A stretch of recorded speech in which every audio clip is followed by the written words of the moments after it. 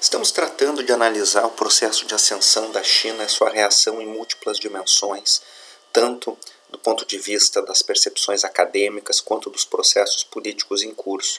Para tanto, nós estamos juntando os materiais acadêmicos, os mais diversos, a leitura que emerge dos meios de comunicação mais influentes, aqueles meios de comunicação que os formadores de opinião, que os líderes utilizam, leem?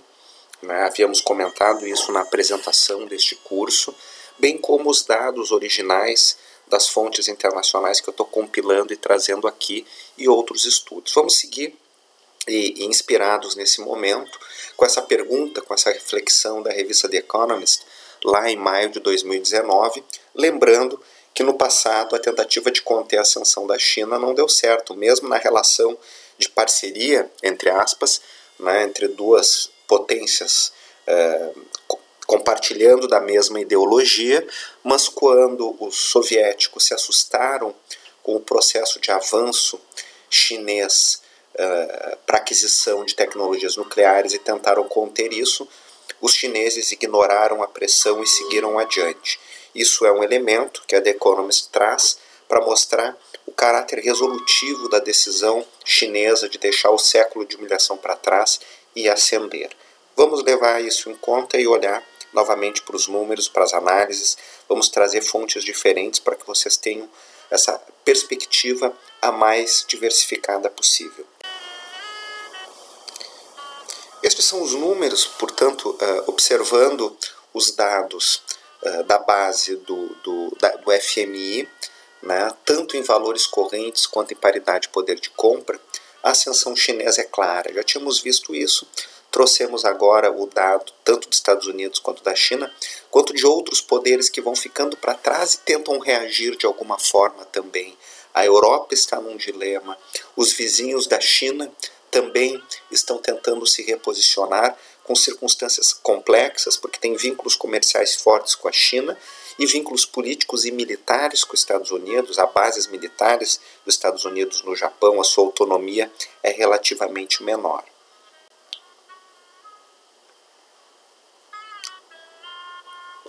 Ainda assim, por mais que a renda per capita chinesa tenha crescido significativamente em comparação com a dos Estados Unidos, ela ainda não é páreo, tanto em valores de mercado quanto em paridade de poder de compra, para aquilo que se observa nas nações na, uh, uh, mais bem posicionadas, nas grandes nações industriais exportadoras, Alemanha e Japão, aqui são, são exemplos. Mas a China segue em busca dessa ideia né, o sonho chinês de uma sociedade moderadamente próspera, de renda média, dinâmica, mas com a reimposição da, da, da, do status quo de um país, ou mais do que isso, de uma civilização milenar que almeja uma posição do tamanho da sua história, do tamanho da sua população.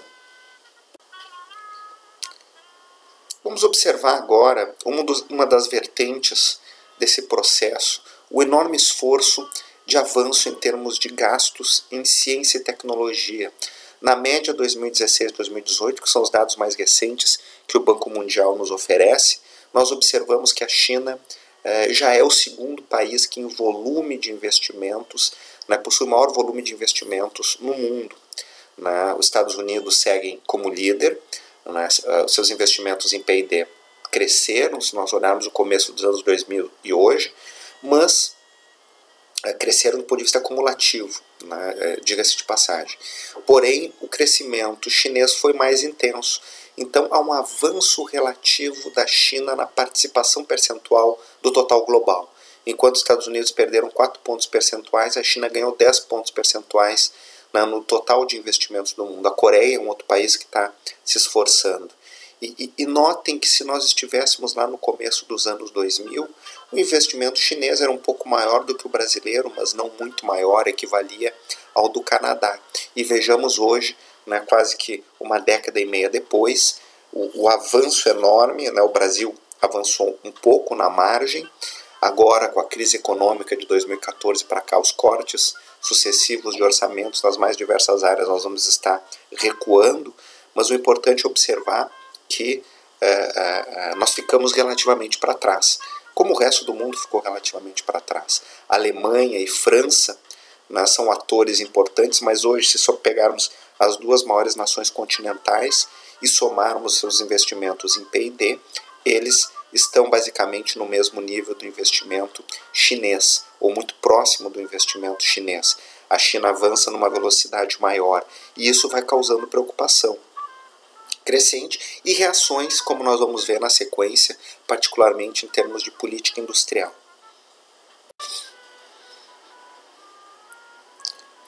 Aqui é olhar né, a, base de dados do Banco Mundial sobre investimento em pesquisa e desenvolvimento, né, em dólares, em valores constantes. Aqui nós estamos fazendo a participação no total global, mostra essa queda relativa proporcional do total, né, o total cresce, uh, mas o total cresce mais para alguns atores e não outros atores. E, portanto, uh, Estados Unidos vão perdendo participação relativa, Uh, Japão perde participação relativa, os principais países europeus também, e a China amplia o seu esforço né, inovativo, porque os vetores de domínio do futuro passam pelo conhecimento, a China sabe disso e está uh, firme avançando nessa direção. Aqui é o investimento de cada país como proporção do investimento dos Estados Unidos na média do período aí de, basicamente na média do que nós assistimos no, no, nas últimas duas décadas. Né, notamos aqueles países que estão avançando mais com respeito à fronteira, com respeito ao país mais dinâmico, aquele que, que tem o maior volume de recursos, que, no caso, os Estados Unidos, os que avançam e os que recuam. Trago também aqui, a, a, a, adicionalmente, né, isso aqui é uma matéria recente da The Economist, uma matéria de agosto de 2020, eh, no sentido de observar que todo o esforço de recentralização decisória no período Xi, né, diferentemente de outros momentos de maior descentralização, de maior aproximação das forças de mercado, e que muitos vão caracterizar como a constituição de um capitalismo de Estado muito ativo, mesmo que os chineses ainda usem né, formalmente a ideia de a construção de uma, social, de uma economia socialista de mercado com características chinesas, Outros olhares do Ocidente observam o capitalismo de Estado, essa relação forte entre, entre as decisões estatais, os recursos estatais e as decisões privadas. Algo que também nós vamos assistir no mundo ocidental cada vez mais. As grandes empresas nos Estados Unidos, na Europa, totalmente alinhadas aos interesses estratégicos, inclusive os interesses estratégicos de contenção da China. Estamos assistindo isso cotidianamente. Por exemplo, as empresas de alta tecnologia dos Estados Unidos, como nós vamos ver não neste bloco de aula, mas, mas na sequência. Então, qual é a ideia da, da, da The Economist?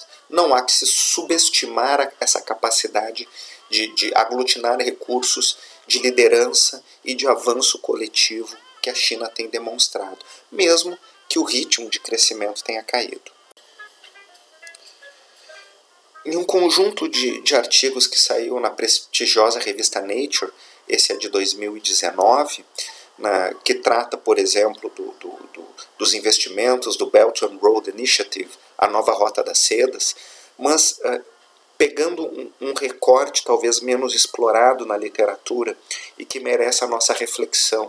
A China vai aprofundando por meio desses investimentos os contatos que são econômicos, né, por meio dos investimentos em infraestrutura e a maior aproximação de comércio e a maior aproximação financeira, mas também os jovens nesses países têm hoje no sistema universitário chinês a oportunidade de realizar pesquisas, a oportunidade de aprofundar seus conhecimentos e seus vínculos estão ficando maiores com o mundo chinês. Quer dizer, uma das características da, da, liderança tecnológica, da liderança econômica, do soft power dos países europeus e, mais recentemente, na segunda metade do século XX, dos Estados Unidos, foi isso da constituição de sociedades abertas, atraindo jovens de outros países e que vão mantendo conexões com, com as universidades nas quais eles fizeram seus cursos de doutorado, principalmente, e estabelecendo redes de pesquisa. O que a, as matérias Uh, os artigos né, da, da, Nature tratam de mostrar é que a própria produção da ciência está se alterando com essa maior centralidade chinesa neste momento. E isso é um vetor de constituição do futuro. Né? Uh, os nacionalismos estão fechando os países no mundo ocidental, em alguma medida na Europa e no próprio Estados Unidos, né, cresce aquele olhar negativo contra quem vem de fora, ao passo que a China está procurando fazer o um movimento contrário. Se a tendência ocidental vai ser de fechamento e se a tendência oriental vai ser de abertura, né, nós não sabemos. Será que a China vai se tornar uma sociedade multicultural? Nós também não sabemos. Mas vale a pena para vocês uh, terem uh, no radar esta perspectiva e esta matéria é muito incisiva neste aspecto. Fazemos o mapa, portanto, dos investimentos principais da Belt and Road Initiative, né, que como nós tratamos e vamos seguir tratando, uh, os financiamentos são chineses, as empresas são chinesas, às vezes em parceria com atores locais, mas essa rede de investimentos vai também criando uma rede de influências e não é só no, no, no continente euroasiático, os braços vão para a África, os braços vão para a América Latina, e isso cria né, um soft power cada vez mais visível. O esforço chinês de modernização se expressa em múltiplas dimensões. Da crise para cá, da crise financeira global, o mundo ocidental ficou paralisado e a China avançou, né, por exemplo, na área de transportes, os trens de alta velocidade, né, com perdão da redundância, a velocidade da construção dos novos projetos é exponencial e, e deixa o resto do mundo para trás, com tecnologia chinesa, com empresas chinesas. E isso nos lembra de Economist, voltando para a matéria do Xi, é planejado. Ao planejamento, ao horizonte, à mobilização de recursos. Então a China está usando aquilo que os países ocidentais usaram no passado: o planejamento as políticas industriais. Dos anos 80 para cá, a visão né, dicotômica, talvez falsa, de que o Estado é ruim, o mercado é bom, foi afastando um pouco alguns países do caminho do planejamento e da parceria entre Estado e setor privado. A China retomou isso com grande força e tem sido bem sucedida. Aí estão as fronteiras tecnológicas né, que estão sendo em cada plano industrial definidas e o país vai avançando nesta linha, mobilizando seus recursos. É por isso que, na ótica chinesa, trata-se de uma ascensão, de uma retomada que não precisa ser conflitiva, que não precisa ter guerra. É claro que as reações recentes envolvem conflito né, em múltiplas dimensões e a China vai se sentindo pressionada, vai sentindo que está sendo contida e reage, e o mundo reage.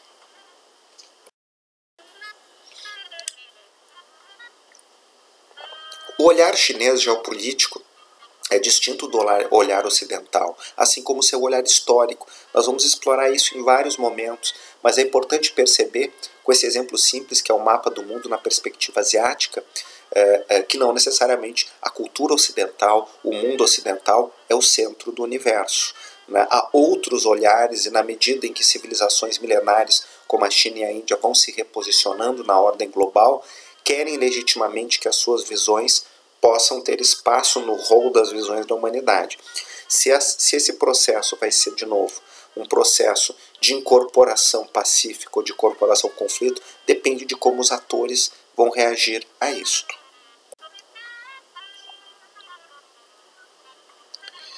E a China está buscando a sua autonomia tecnológica em vários aspectos, construindo seus grandes grupos que concorrem né, em condições às vezes até vantajosas ou se aproximando dos países e das empresas do Ocidente, dos Estados Unidos, da Europa, que por sua vez está gerando uma reação né, destes países e dessas empresas para manter posições, o que pode talvez gerar, o que é muito difícil, mas pode gerar esse processo de descolamento Será que nós vamos ter matrizes tecnológicas diferentes, linguagens tecnológicas diferentes para o mundo ocidental, para o mundo oriental? Quem vai liderar, quem não vai liderar? Uh, isto é algo que está se colocando cada vez mais numa das dimensões dessa disputa, que é a disputa pelas tecnologias de fronteira. A partir desse entorno mais amplo, eu trago para vocês um estudo recente da McKinsey, do, do McKinsey Global Institute, né, que é uma instituição privada né, de consultoria. Uh, esse estudo é de 2019, é um estudo amplo, olhando como é que a China está no mundo, como é que o mundo está na China e comparando com os Estados Unidos. Eu recomendo fortemente, é um trabalho interessantíssimo. Tem aqui é, o registro do debate que houve no Peterson Institute com os resultados, com os outros especialistas em China, para quem quiser olhar. O, o, estudo é de um ano atrás, mas é, ele ainda muito tem muitas informações que merecem a nossa atenção e, e, e é difícil nós encontrarmos outro estudo tão abrangente é, atualizado constantemente. Então vamos ver algumas das dimensões e a perspectiva da McKinsey sobre isso, né, que é o que eu estou trazendo. De novo, sempre com essa ideia de que vocês possam ter fontes diferentes e olhares diferentes. Primeira questão, uma questão que a McKinsey destaca é que a China cresce em termos, pegar a lista das maiores empresas da, da Fortune, a China hoje tem quase o mesmo número de empresas dos Estados Unidos, mas essas empresas faturam basicamente no mercado doméstico e não nos mercados globais. Isso pode ser visto como um problema ou não. A, a, a McKinsey vê como um problema. Eu não, eu não vejo necessariamente como um problema, porque o mercado que está mais crescendo é o chinês. Então, isso me diz, a minha leitura desse resultado, é que as empresas chinesas estão crescendo com base na musculatura do crescimento do seu mercado interno e agora tem fôlego, tamanho para crescer fora. Isso acontece com o sistema financeiro, os bancos chineses são grandes, mas ainda são pouco internacionalizados.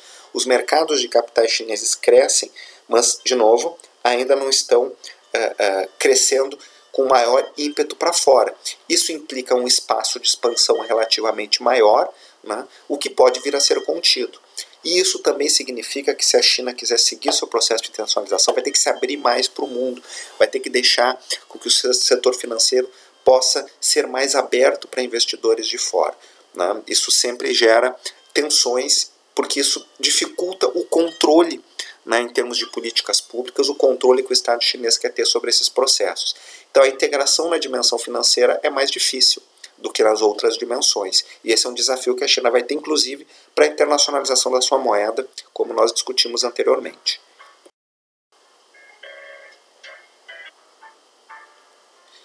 Esse desafio também se expressa no fluxo de pessoas, uma sociedade historicamente mais fechada. Então, é, há um crescimento né, do turismo para fora, um, um, certo crescimento do turismo para dentro e fluxos migratórios também. Então, a, a, o desenho e a pergunta que se faz é se a China vai ser um grande país receptor de pessoas, né, que já é um país com uma grande população, e, e que impactos isso vai ter sobre a sua sociedade.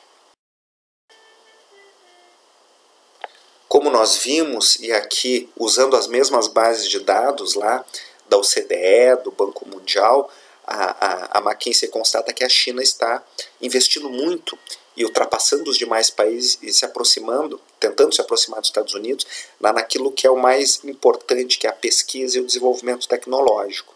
A questão é saber né, em que medida né, a China vai conseguir ter essa autonomia, porque ela ainda depende de importações boa parte dessa tecnologia, insumos tecnológicos, vem dos Estados Unidos ou dos países ocidentais ou dos países sob influência dos Estados Unidos. É por isso que no período recente nós vemos essa, o uso dos instrumentos de política e, e política comercial, de política econômica para conter a venda de insumos tecnológicos para a China.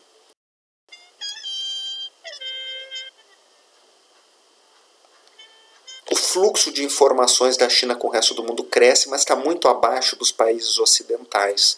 Né? Isso quer dizer que tem alguma limitação ainda nesse processo de abertura por meio né, do mundo digital. China é o maior poluidor do mundo, mas é o país que mais investe metade dos gastos com novas tecnologias renováveis, que é um vetor fundamental para o futuro, vem da China e isso implica que as suas empresas hoje são empresas líderes em termos de eficiência de custos. O soft power chinês também vale a pena olhar que vem crescendo fortemente. Alguns outros países estão investindo mais, né, como Coreia do Sul, mas a China vem num esforço de mostrar a sua cultura para fora, particularmente para o mundo ocidental. Em setores líderes que estão priorizados na política industrial chinesa. Né? A China tem uma grande liderança no seu mercado doméstico, busca avançar nos mercados externos, mas ainda depende de fornecedores em muitos segmentos. Então, isso é um desafio que os policymakers na China estão se colocando. Fato é que a China está avançando rapidamente e cada vez mais uh, com, com uma velocidade maior do que outros países que buscaram avançar tecnologicamente. Mas tem limites. Né? Tem limites, o seu mercado consumidor cresce, né? em alguns segmentos cresce fortemente, Uh, isso implica a necessidade de fornecimento externo, em outros menos. Mas é um país que vai criando uma classe média, uma classe, classe média que quer consumir, mas que é a base da expansão das próprias empresas chinesas. A China ainda está longe de outros países em termos de constituir proporcionalmente a sua população uma classe média e alta maior, mas a perspectiva é que isso venha a se transformar rapidamente o que vai permitir esse redirecionamento do padrão de crescimento chinês para serviços e para consumo domesticamente. E isso vai mudar os padrões de gasto dos chineses, que vai se tornar esse padrão mais parecido com o mundo ocidental ou com os países de alta renda. Mais uma vez, isso cria um enorme potencial de crescimento do consumo na China né, ao reproduzir os padrões ocidentais. Portanto, a China é uma civilização em ascensão que reemerge com base numa, numa visão cultural de uma civilização milenar. É como se fosse um novo sol que emerge e que acaba re, reorganizando, mudando estruturalmente as órbitas pré-existentes dos planetas, cria reações, o mundo entrou muito fortemente na China antes da China ter musculatura para ir para o mundo. Na medida que ela vai tendo, e particularmente da crise financeira global para cá, as reações se multiplicam, como nós vamos ver.